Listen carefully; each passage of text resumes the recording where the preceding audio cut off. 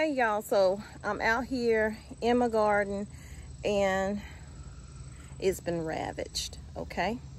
I'm gonna flip it around, but it's been ravaged. I have to head out once I get done putting these back together, tying them up. I gotta go and find some kind of shade cloth or something for my rabbits. My goodness.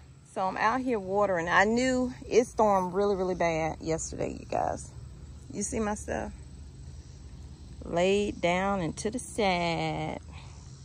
Just everywhere. But I do have some red tomatoes on here. Let me get busy. Y'all have a blessed day. Stay safe. Don't let something like this deter you from doing what you need to do grow your food, grow your groceries, okay? Stay in it. Don't quit.